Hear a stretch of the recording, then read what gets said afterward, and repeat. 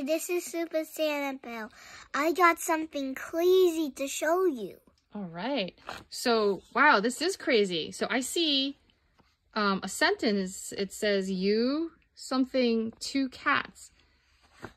So what is this letter H in Braille hanging out? By itself. Yeah, in this sentence. Why? Because H by itself can be have.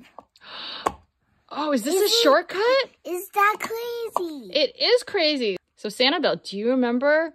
It's got a long name.